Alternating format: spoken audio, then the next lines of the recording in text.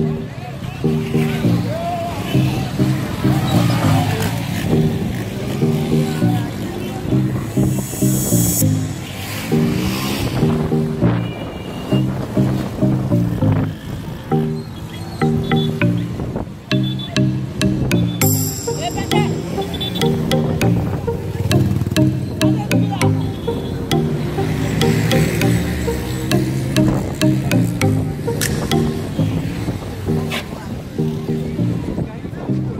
people are probably having some problems.